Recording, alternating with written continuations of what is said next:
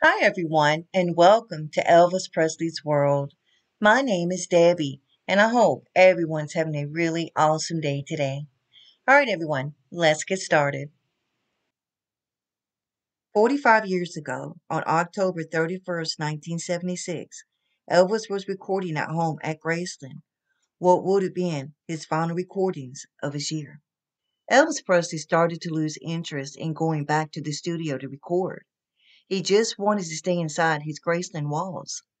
Maybe because Elvis was not over the divorce from Priscilla, and Elvis knew that Linda Thompson was about to leave him. And then there was the book that Red and Sonny and Dave wrote, Elvis What Happened. Maybe this had something to do with Elvis just not having any interest in recording anymore. But Felton Jarvis had a different idea on how to get Elvis to record. So he came up with the idea to take the studio to Elvis, hoping that this would work. So he talked to Elvis about it, and Elvis did agree. So on October 31st of 1976, in the Jungle Room, Elvis did perform, but sadly though it was Elvis's last studio session. Elvis recorded Hurt, Never Again, Blue Eyes Crying in the Rain, Danny Boy, The Last Farewell, For the Heart, Bitter they are, harder they fall. Solitaire. Love coming down. I'll never fall in love again. These were released in July of 1977, just one month before Elvis passed, on August 16, 77.